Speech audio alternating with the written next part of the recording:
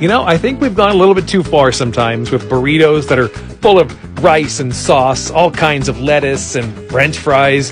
When you do something right, you don't need to add a lot of stuff. Look at how simple these are here. Oh, yeah, and taquitos too. Those are good here.